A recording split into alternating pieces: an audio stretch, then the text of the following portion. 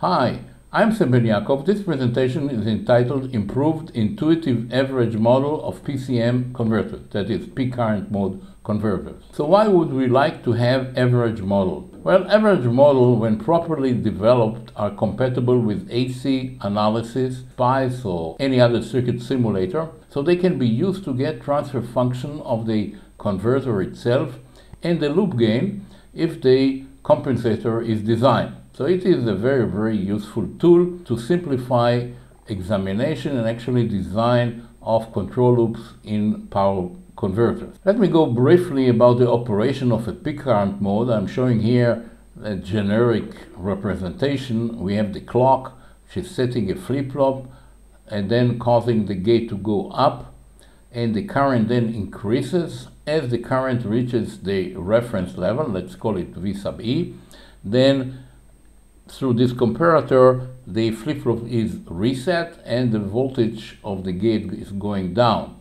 So what happens is really that the inductor current is going up and then when the peak of the inductor current, that is with the ripple, is reaching V sub E, then the, the gate is turned off. So if V sub E is changing, let's say by a step like this, the peak of the inductor current we sort of follow it. So this is the basic operation of peak current mode.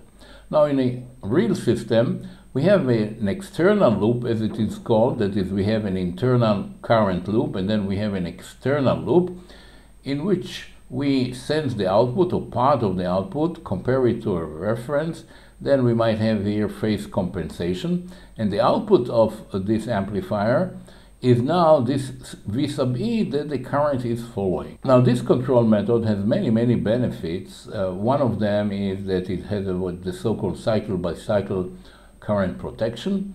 But another important aspect is that now we are actually removing the inductor and replacing it by a current source because now the current in this branch is following V sub E. So in fact we are reducing the order of the system from a second order, that is the inductor plus the output capacitor, to a first order, just a current source and a capacitor, or at high frequency, it'll be the ESR of the capacitor. So this is very beneficial because it simplifies the control, make it more robust, and it's less sensitive to variation like a change in a capacitor, and I'm going to demonstrate this later. However, the current really does not follow vis-a-vis. The peak current is following, and there is a difference. And the average current, of course, is here midway. Not only that, if the operation is with a duty cycle above 0.5, then we need slope compensation. So therefore, we have now a slope here, which is the original inductor plus the slope compensation. And then the distance between V sub E and the average current is even farther away. Now in this approach that I'm presenting here, I'm actually accounting for this difference and implementing it in an average model. So here is how it is done. Here is the V sub E, this is the average, and we have to find actually the difference so I can subtract it from VE and this will be actually the current. So to do that I have to find this distance now this slope is the combined slope of the inductor plus the slope, which is given, and then I can subtract this length and then add to it half of the ripple. And these are the expression related to it. I can find the ripple from V in minus V out over L, this is the slope of the inductor current, and then I can find T on from V out over V in times Ts. So this is done on the run while the simulation will be running. So let me repeat. First of all, we find this distance here, and then we add to it half of the inductor current ripple, and this will be the distance between V sub E and the average current. And here is the implementation. Let me first of all talk about the average model, okay? Just to make it clear, I've broken all the calculation into the individual parts it's not necessary, but just for the sake of uh, understanding it better. Here I'm generating the slope, okay, it's 200 millivolt uh, height over the period of uh, 3 microseconds. So it's a 333 kilohertz switching frequency. And then I'm calculating T on from V out over V in times the duration of the switching cycle. And then this is the actual distance of this uh, slope, the slope times time. And then I have here the inductor current ripple. And finally, I have the current source, which is the reference minus these two terms. And this goes into the output. Now I've added here a current source with a step such that we can see the step response of this unit. It, will start 5 milliseconds after time 0 and it is 0.1 amp. And now I have here a full-fledged model of a switched peak current mode. I have here the flip-flop, this is the comparator, this is the inductor current plus the slope, and then I have here the reference. The reference that I have here at this point is some DC plus an AC superimposed of 200 millivolt. So I can see the transfer in large signal between the reference and the output.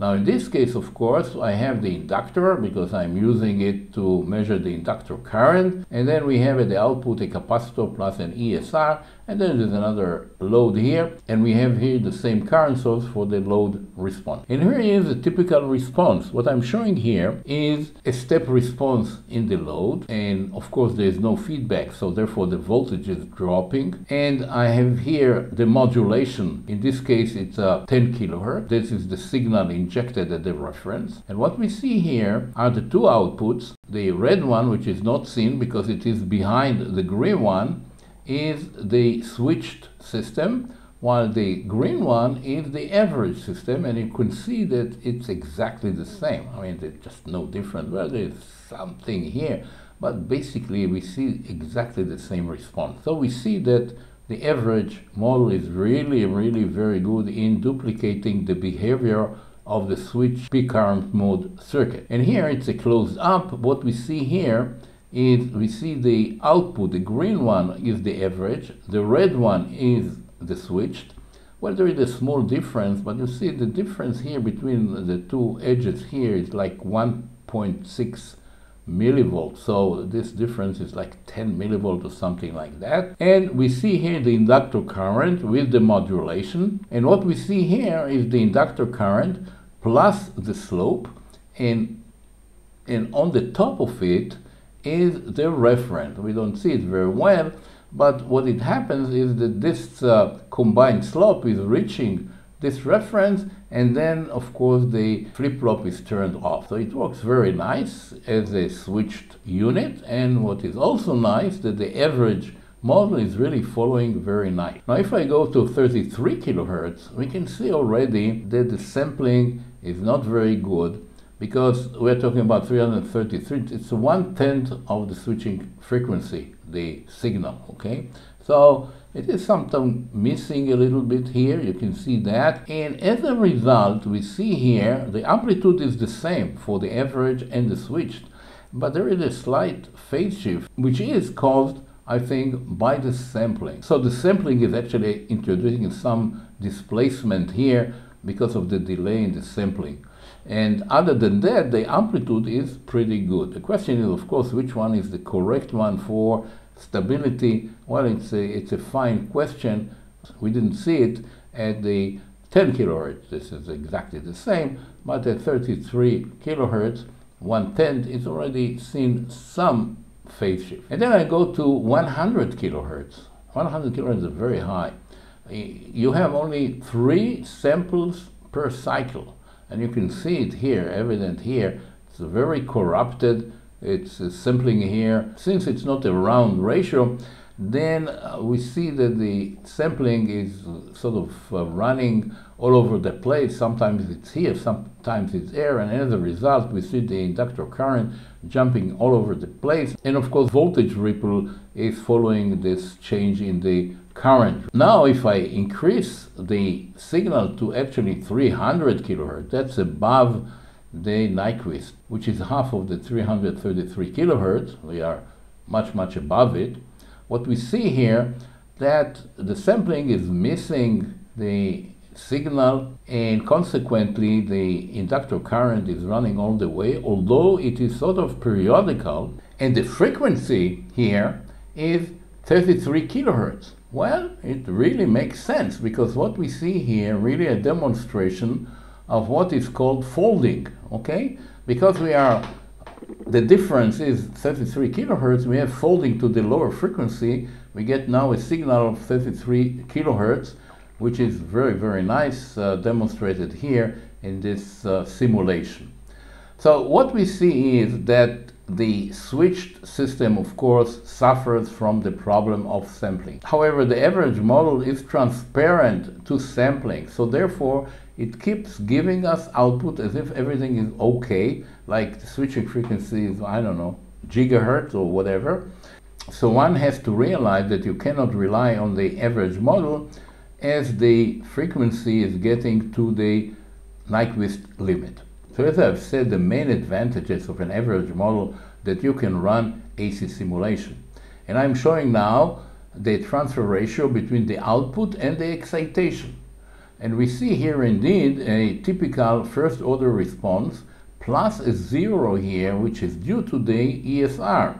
That is, at high frequency, the impedance of the capacitor becomes smaller than the impedance of the resistance of the ESR, and consequently we have now a current source feeding a resistor, so the response should be flat and the phase should be zero. And that indeed what we see. The response is flat and the phase is really getting back to zero degrees. Very, very nice. Now we can do a sanity check to compare the AC response to the time domain simulation. So what I'm doing now, I'm looking at the point of 10 kilohertz and looking at the gain at this 10 kilohertz between the excitation and the output.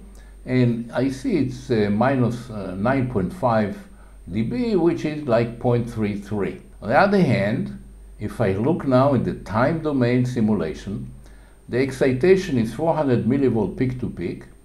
The output is 135 millivolt peak to peak, and indeed the ratio is 0.33. Very, very accurate, very, very nice. However, let's not forget that as we go to a higher frequency, that is more than the 10K, then the signal is okay, but then we have some phase shift, which is sort of the deviation between the switched unit and the average unit. Now, once you have an average model, you can examine various cases. For example, I'm showing here what happens if the ESR of the capacitor is changing. What we see is that as the resistance ESR is getting higher, then the zero is getting at a lower, lower frequency.